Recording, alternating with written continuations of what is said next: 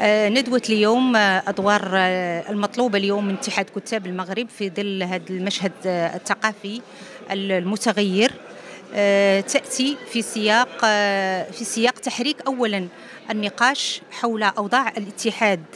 ومدى مساهمته في في العملية الثقافية وفي إنضاج هذا آه، شروط سياسة ثقافية بديلة.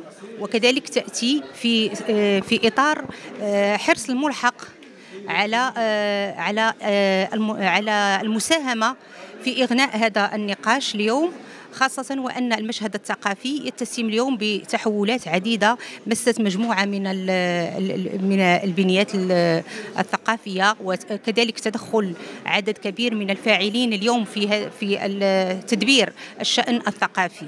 ال- ال- أزمة الاتحاد اليوم لا يمكن أن أتحدث عنها أنا من خارج الإطار أظن أن أعضاء الاتحاد هم المخولون أكثر للحديث عن هذه الأزمة. المهم أنه آه، أننا نقر جميعا بأن هناك أزمة بعد فشل انعقاد المؤتمرين آه، مؤتمر طنجة في 2018 ومؤتمر آه، العيون مؤخرا.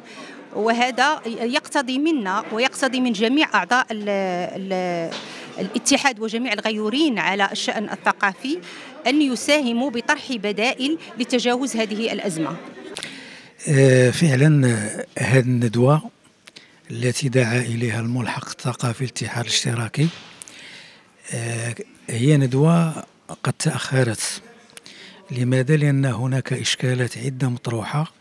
كان ينبغي أن يتم الإشارة إليه بشكل صريح ومناقشتها وإيجاد حلول متعددة ولذلك الموضوع الأساسي الذي طرحته هذه الندوة أدوار الاتحاد فعلا أن هناك أدوار ينبغي أن تكون حداثية وجديدة لأن لا يعقل أن تبقى نفس الأدوار التي كان يؤديها قبل الاستقلال وبعد الاستقلال بل هناك مستجدات في العالم يتطلبها هذا النوع من المواكبة.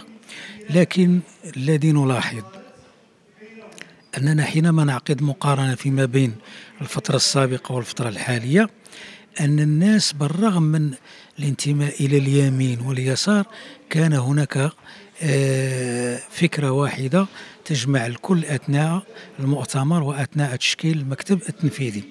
العكس الذي نلاحظه الآن أن هناك مجموعة من المنخرطين لا علاقة لهم بالأحزاب السياسية ومن ثم غياب نوع من التأطير لأن هناك علاقة وثيقة فيما بين ما هو سياسي وما هو ثقافي. إذا لا يعقل أن تبقى الأمور على عواهنها لأن نجد مثلا إلى فتحنا قوسا نجد أن الثورة الفرنسية والمثقفين الفرنسيين في عصر النهضة كان هناك نوع من التساؤلات والاستماع إلى الطروحات السياسية والفلسفية ومن ثم العمل على بلورتها داخل كيانات ثقافية. عكس ما نجده هنا كل غياب مؤطرين لدور الثقافة لأن بخلاف مثلا تلقاو علال الفاسي في كتابه النقد الذاتي كان يشير إلى أن الطبقة الأرستقراطية هي التي ينبغي أن تتحمل هذه المسؤولية وتناقش.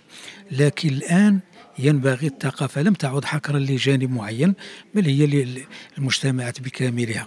ثم هناك نقطة أساسية يشير إليها جرامشي ولم نعطيها أدنى اهتمام وهي أن المدارس هي التي تنتج الثقافة.